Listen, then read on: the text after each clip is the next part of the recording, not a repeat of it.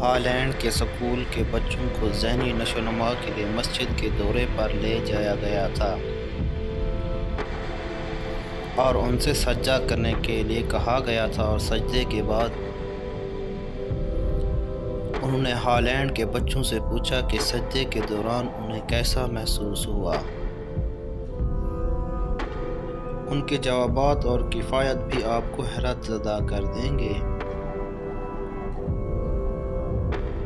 बच्चों ने क्या जवाब दिए? मलहजा फरमाएँ, मैंने यसू को सुना, मैंने खुदा से बात की, मैं अब चर्च नहीं जाऊँगा।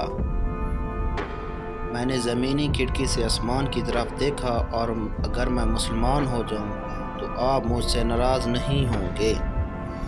ये योगा और मराकबा से कहीं ज़्यादा अच्छा है। मेरी पेशानी से मेरी तकलीफ़ ज़मीन में फैल गई। मैंने मुसलमानों के खुदा को देखा, उसने भी मुझे देखा।